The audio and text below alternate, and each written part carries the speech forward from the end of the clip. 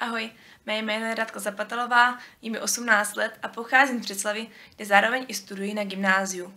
Mým snem a cílem je odmaturovat a dostat se na vysokou školu s oborem zubního lékařství nebo fyzioterapie. Ve svém volném čase ráda sportuji, chodím do posilovny, sem tam si zaběhám a jezdím na inlinech. Také ráda zpívám, chodím do pěveckého sboru Polyfonie. Jelikož miluju sladké, tak mezi mé koníčky patří rozhodně pečení. Jelikož věřím, že je potřeba pomáhat ostatním, zařadila jsem se k dobrovolnicím dobrovolnického centra Duha. Modelingu se věnuji již od svých 15 let. Mezi své největší úspěchy považuji to, že jsem se dostala do finále soutěže Miss a kočky rádia jich.